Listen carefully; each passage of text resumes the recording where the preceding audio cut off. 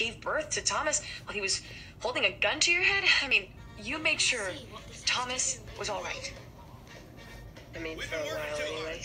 Look, I, I did did what I thought was the best thing at that moment to deal with Nick, and it cost me a lot. We both You lost your freedom. That's what we both know what it's like to be separated from people that love us.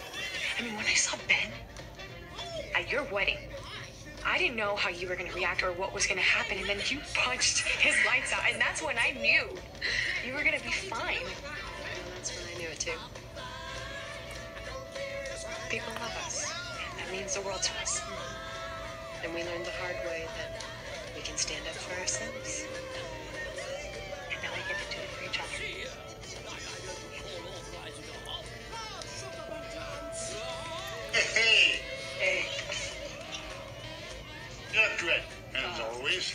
You. So, what do you want to do now? Uh, movie? What? Well, I'm up for anything except Doug's place. Really? Thought you liked the music. Oh, the music was wonderful.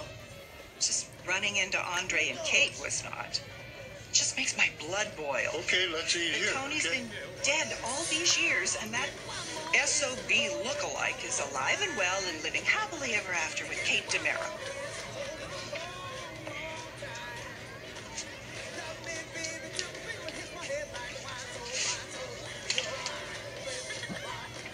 So what did you find out? Where's Theo? They've already left. What? I called the airstrip.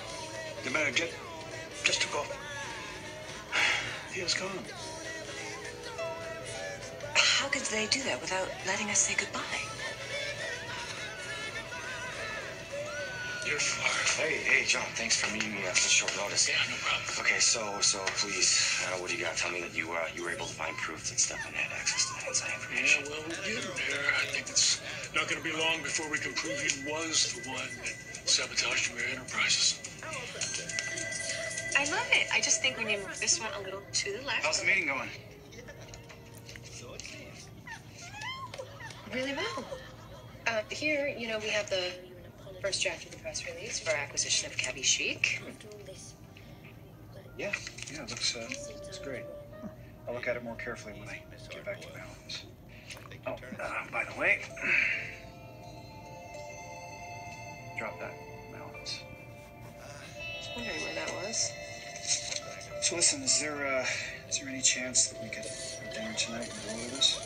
No, because I'm having dinner with my husband and our son. I was talking to Gabi. I'd like for us to, uh, get to know each other a little better. So how about you free?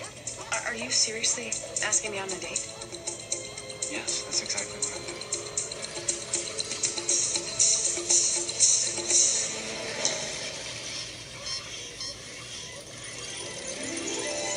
Like sands through the hourglass, so are the days of our lives.